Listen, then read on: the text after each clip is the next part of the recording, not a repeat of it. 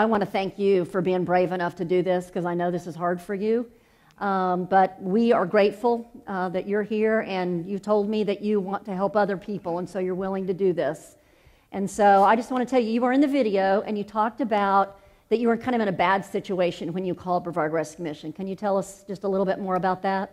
Um, yes, my son's um, father, my hus- ex-husband now, um, had some serious addiction problems still to this day, um, and it had declined to the point of the night I left him that he told me he was going to get really drunk, drink a lot of vodka, and beat me with an inch of my life. And I said, okay, it's time to go. You know, um, I took my opportunity of window and I left, and didn't know where we were going to go.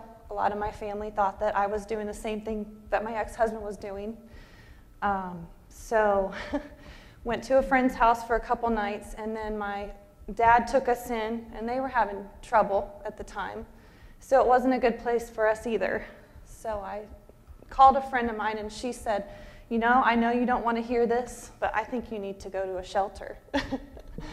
and I said, I don't want to do that. and she said, I know, but you need to call. And so I called the information line, um, the 211, and they said, There's this program for single moms with one to three children and it's a Christian program, and you know they will give you a place to stay and help you find a job. And I had been a stay-at-home mom for three years, two years, sorry. So I said, okay. I had some college, you know. Um, I had an insurance license before, but I hadn't been in the workforce in a while. So I said, okay, that sounds good. I'm going to call them. And they were interviewing that week, and I, within a couple months, we were there. And the night before we went there, we were hiding in a spare bedroom with issues going on. so I just wanted my son in a healthy environment. That's what I wanted. That's great. Thank you so much. So when you came, you kind of remember back to that first day and just kind of because you were so afraid of it being a shelter.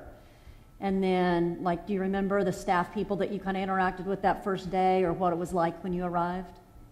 Um, yes, a little scary, but very comforting. Um, just, I knew we were going to be okay and um, just felt welcomed and loved and not by myself, that, you know, I was going to have help to get through this. I remember when you arrived, you were very cautious. I don't know if it was from being in a domestic violence kind of situation or having that background, but I, even with us, it seems like you had a trust issue. Do you want to talk about that a little bit, or do you remember? And then because it changed pretty quickly. Oh yes, I've changed a lot. yeah. In fact, when I got my job now, um, I took this job, and it's a small agency, and I work with ten women and the scariest thing for me was working with 10 women. because I have had been through so much in my life and I just had real serious issues with trust. And so it's I've definitely changed a lot in that area. So tell us now, so your son is five? Yes, he started kindergarten this year. Mm, precious. And you're, you've got your own place. So tell us a little bit about your current situation. So you you have your own apartment? Yes. Have my own apartment, um, have a good job, and raising my son in a healthy place. And I don't have to rely on someone that may or may not be stable. And I drive home some days and think, I'm just so thankful that, you know, I'm healthy and I can choose who's in my life. And if I don't find someone that's healthy, then I can do this by myself. I can do it with a little bit of help from family, of mm-hmm. course, but. So what would you say to uh, the, the, residents that have just moved in? You know, you were a lot more stable than some of our other residents. So as you were there, you saw a wide range. The people that had grown up homeless and all kinds of situations where you kind of went from stability to instability. Um, tell us just more about um, somebody brand new coming in. If you were in that staff and they were there that first day, what kind of encouragement would you give them?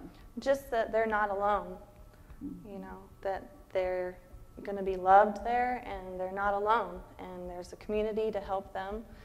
It takes a village to raise a child. It really does. And that was one thing that was so comforting is I couldn't be there for my son. I had to go find a job. I had to figure this out and knowing that he was being taken care of and being loved on by so many people in such an unstable time in our lives was just amazing. That's great. Anything else you want to say? You've done a great job, Jessica. You've been so amazing. I really, you were so nervous you weren't going to be able to say anything, but I just really want to commend you for, for what you've done here to, to be willing to stand up and tell your story because you've been through a lot of rough, a rough situation and you are doing amazing. And, you know, on the street, if you all saw Jessica on the street and saw her in her office, you'd never have any idea that she's been through what she's been through. And now she's anxious to turn around and help others. And so I'm just incredibly proud of you and grateful. Well, I just want to say thank you to everyone. Um, it's an honor to be able to come and speak and just see some of the faces that have touched our lives. And um, you'll never know what it's meant to us. Beautiful. Thank you. That's why we do what we do.